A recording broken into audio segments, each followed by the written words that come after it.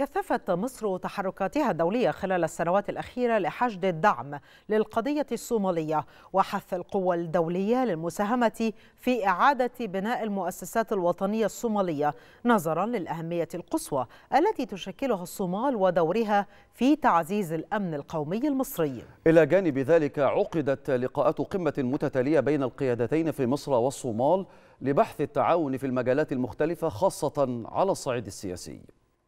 علاقات متميزة تجمع مصر والصومال على كافة الأصعدة والمجالات خاصة في ظل الدعم الكبير الذي توليه الدولة المصرية لتحقيق الأمن والاستقرار في الصومال. مصر كثفت تحركاتها الدولية خلال السنوات الأخيرة لحشد الدعم للقضية الصومالية وحث القوى الدولية للمساهمة في إعادة بناء المؤسسات الوطنية الصومالية نظرا للأهمية القصوى للصومال في تعزيز الأمن القومي المصري.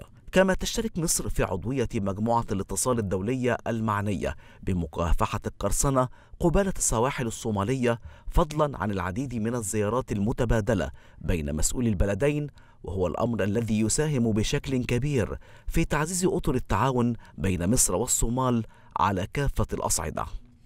تقديرا واعتزازا من مصر لشقيقتها الصومال. شارك رئيس مجلس الوزراء مصطفى مدبولي نيابة عن الرئيس عبد الفتاح السيسي. في مراسم تنصيب الرئيس العاشر لجمهورية الصومال الفيدرالية الرئيس حسن شيخ محمود. رئيس الصومال قام بدوره بزيارة لمصر استقبله خلالها الرئيس عبد الفتاح السيسي في إطار تعزيز التقدم المحرز في مشروعات التعاون الثنائي بين البلدين إضافة لتعزيز جهود التنمية الاقتصادية في الصومال والتعاون في مجالات التعليم ومكافحة الإرهاب والفكر المتطرف.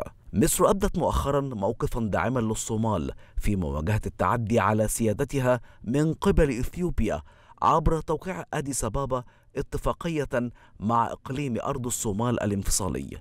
التأييد والدعم المصري يكشف عن علاقات قوية تضرب بجذورها عبر عقود مضت كانت مصر دوما خلالها الشقيقة الكبرى للصومال والمساند لها في أصعب الظروف.